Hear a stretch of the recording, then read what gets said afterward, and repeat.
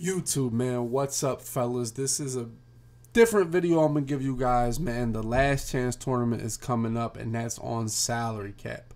Now, what the last chance tournament is, it's just one opportunity for one person on each side, whether PlayStation or Xbox, to make the Madden Bowl, which is the last tournament in the MCS this year.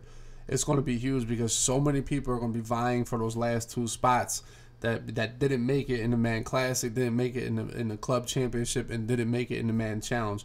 So it's going to be all the players that are out competing, really going at it. So there's only going to be one winner for each system.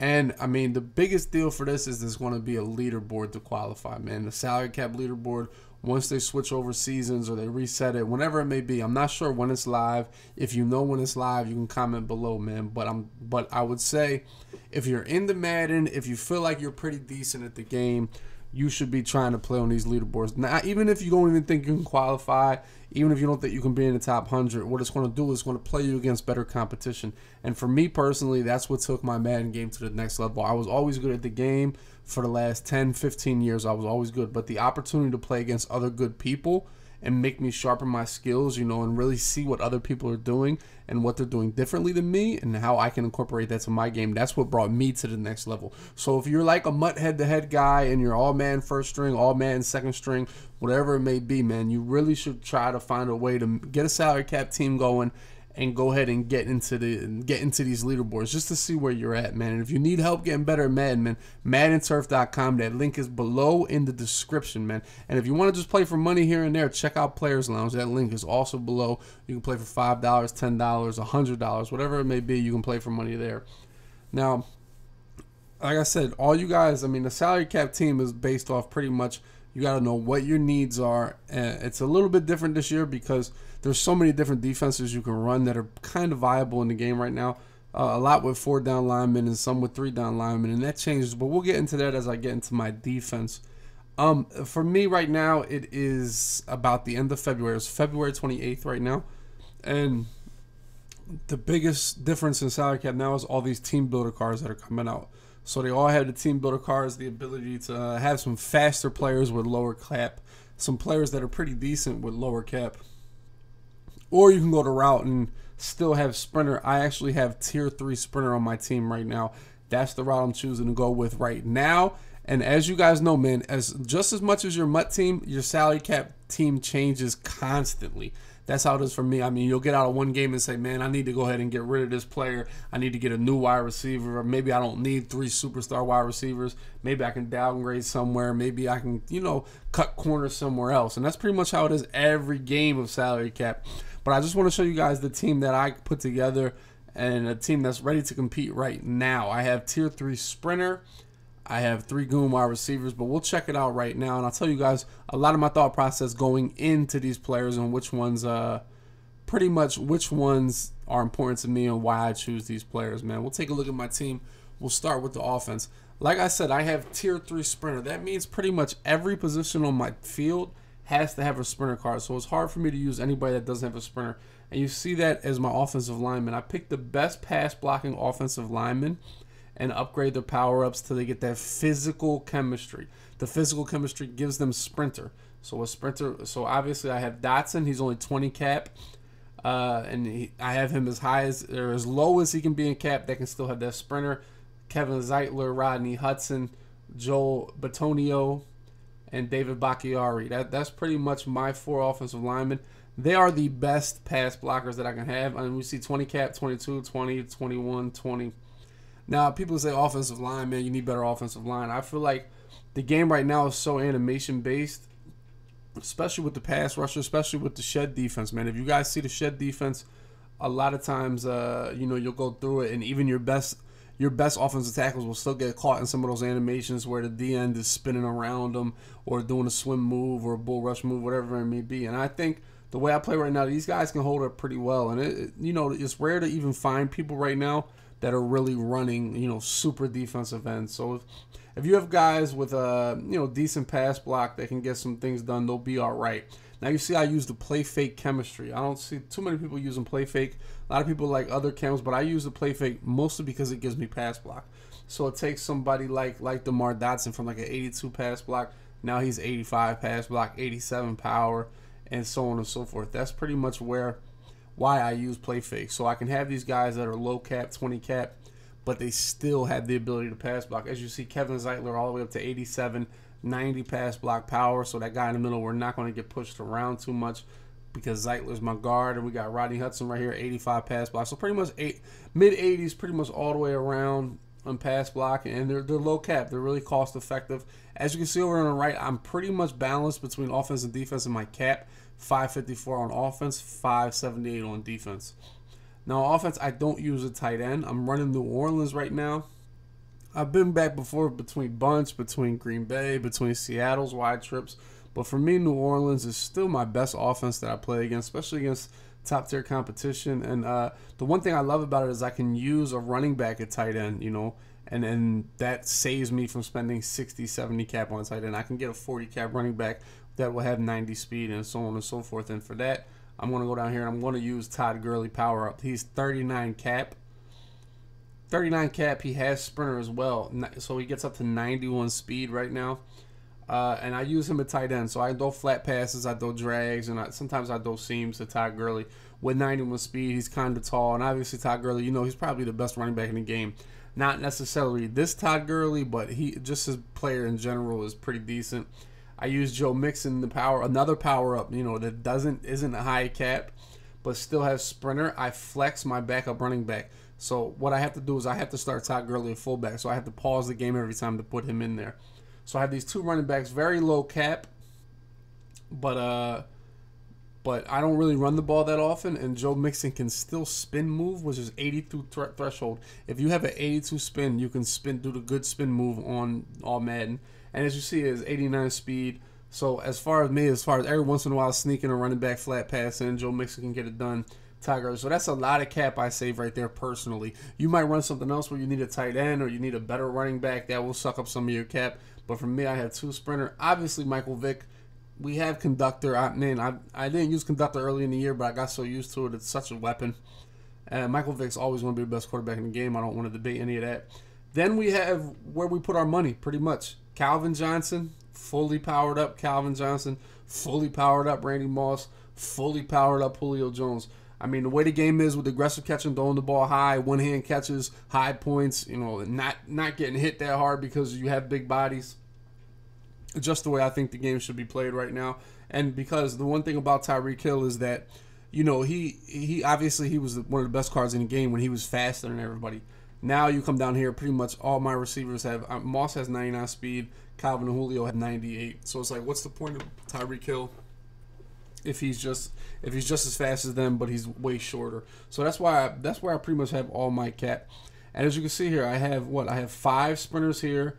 Each card that's over 95 on your team, if you want to do the tier three sprinter, has to have uh, double sprinter. So Calvin has double, uh, Vick has double, Moss has double, and Julio has double.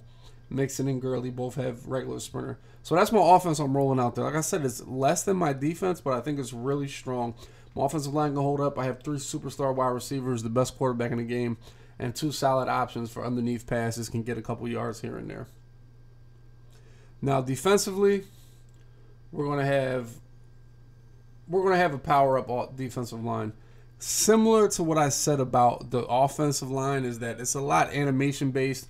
So Khalil Mack is pretty much going to get some of those same animations as he would if he was at 80 cap. You know, 25 Khalil Mack he has like 80 power move, about 78 speed, something like that.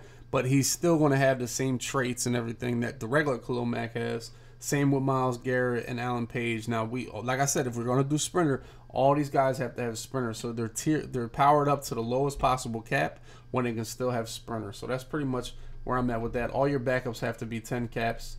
I use this Brandon Jackson guy because I believe he has 67 speed. He's better than a, a 60 speed power up. Uh, but like I said, Alan Page and Myles Garrett, Khalil Mack, all powered up. They're not that good. If I want to generate pressure, they're not going to be able to get a good pressure with three man rush. Going to have to send some heat. Uh, like I said, and now we go with we. I have four superstars in the secondary.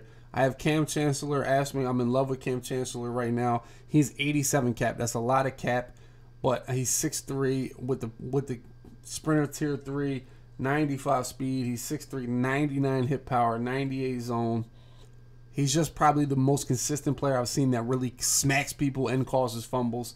Then I have Jamal Adams. I don't have the full Jamal Adams because I have such a tier tier up in, in speed. We can get him to 97 speed, 67 cap. He can also hit. Got that six one. That's decent height. Can get things done. So I have Kam, Jamal Adams, Jalen Ramsey. I mean, if you guys watch any of my games, you can watch them twitch.tv slash dub dot. Jalen Ramsey for me has been the best secondary player all year. I mean, just his height, his ability to get to football, swat the ball, pick it off, everything, and still provide a little bit of action as far as hitting is concerned. Definitely a stud. That's one of the reasons I will always use this Jalen Ramsey. Not the full Jalen Ramsey. The full Jalen Ramsey is just like another point of speed, I believe. Just playoff edition Jalen Ramsey. As you see, the cards with the high cap on my team all have double sprinter.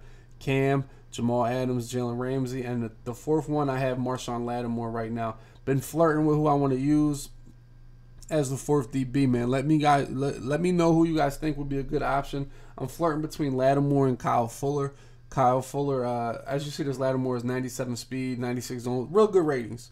But I'm thinking about going with this Kyle Fuller. He's going to be seven less cap, going to have the same speed, same height. And the one thing about Kyle Fuller, if you guys know, man, he's got 70 plus hit power. That team of the year card, I believe, at 83 hit power. So he can definitely pop a little bit. I mean, I would use all safeties, but the thing is, I need to have some corners. If I want to do the sprinter thing, I have to pretty much play everybody in position. Now from there, now I so those are pretty much my four outside shell guys. My two safeties, two outside corners. Michael, whatever wherever I choose to play them. Ramsey, Lattim, uh, Lattimore, Jamal Adams, and Kam Chancellor. Then I have to have my inside guys. My my linebackers if I'm running three through five, if I'm running nickel normal, if I'm running dollar, whatever it may be. And these are my two guys that I'm going to use right here. I have 36 cap Brian Dawkins and 31 cap Eddie Jackson. Man, they have the sprinter badge. Uh, Eddie Jackson is the lowest cap possible to have sprinter. It takes up a little bit of cap. Gets up to 90 speed. Six foot tall. Decent hit power. Rating's not that great, but but with 90 speed, you can play linebacker for me. I mean, a lot of these guys I'll be blitzing a lot, especially a nickel normal, three through five normal, dollar stuff like that. A lot of spying with these guys. Uh, they can tackle good enough, and, and they're low cap. 36 cap for Brian Dawkins. Obviously, Brian Dawkins, you guys know, man, 87 zone and that 80 hit power. Both of them 80 plus hit power. Both can tackle over 70. So it's they're not great cards, but for the cap, they'll definitely do their job. Then I have Darius Slay. I'm definitely going to change this card out. I believe Marlon Humphrey is the one I want to come up.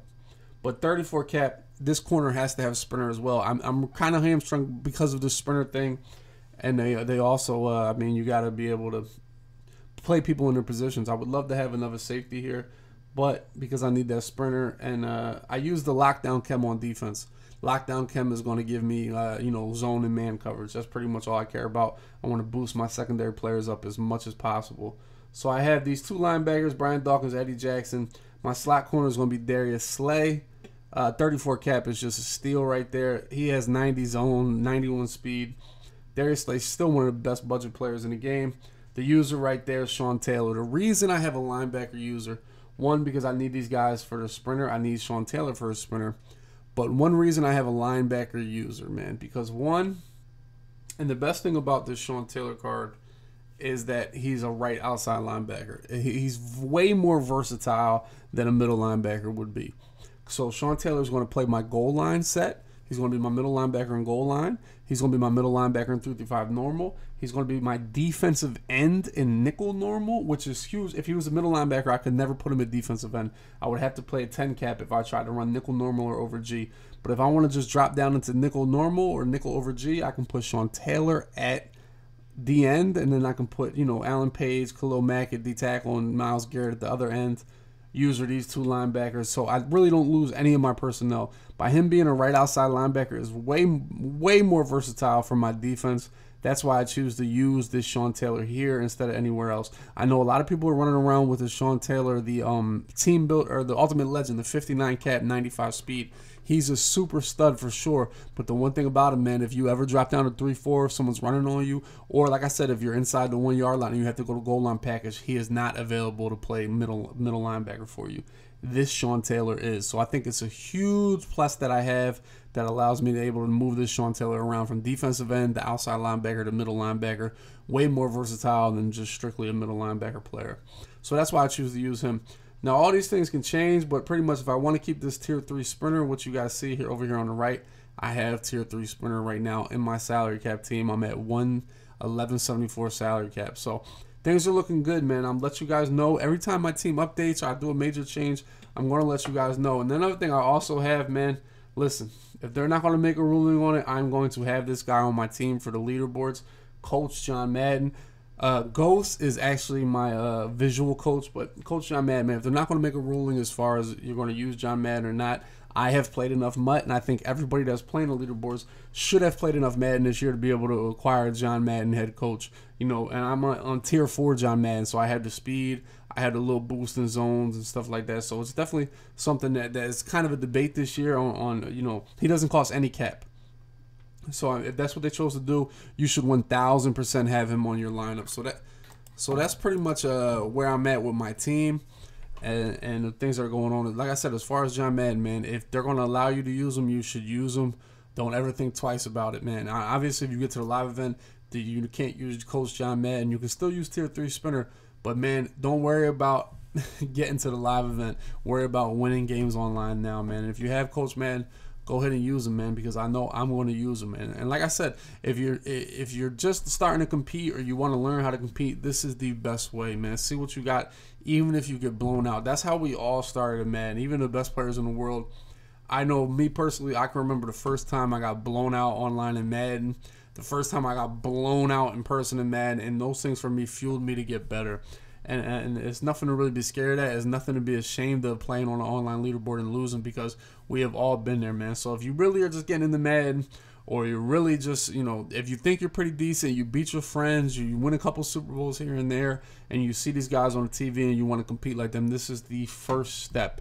Is hopping in the salary cap leaderboards, making a salary cap team, and seeing what you got, man. And and to me, this is the best mode man ever introduced because we're constantly changing our team. You have to find out where you want your weakness, where you want your strengths, and pretty much it, it's not just MUT. It's not all about who can buy the most cards, who can put them out there, and, and who can go ahead and compete. I mean, it's pay to play to an extent, but at this point in the year, if you've been playing MUT this long, you have more than enough coins, more than enough training to go ahead and make yourself a team. So make yourself a team. Let me know what you think of this video. If you want more videos like this, I without a doubt will do them just want to make sure everybody knows what they need to know to compete because com- competition is the best thing for men. And the more people compete, and the more this game can thrive. And ultimately, that's all we all want.